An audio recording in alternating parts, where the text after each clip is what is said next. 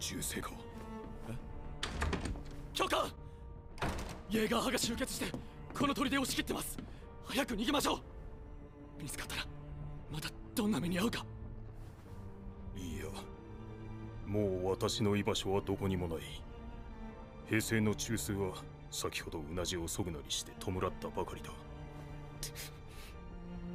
イエーガー派は民衆に支持されこの島の実権を握るだろう私のような旧体制は払拭されるほかない。人里離れた山で野ぐそして余生を過ごす体力もないしな。俺たちは教官の助けがなければ死んでました。何があっても俺たちが教官を守ります。バカ者どもが私が何のためにしょんべん小僧どもの足毛をおとなしく受けたと思っておるのだ。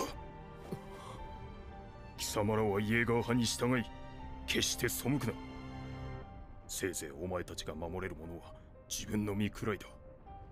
このまま体制の中にいろ。そんな。ただしいつか立ち上がるべき日が来る。それまで決して自分を見失うな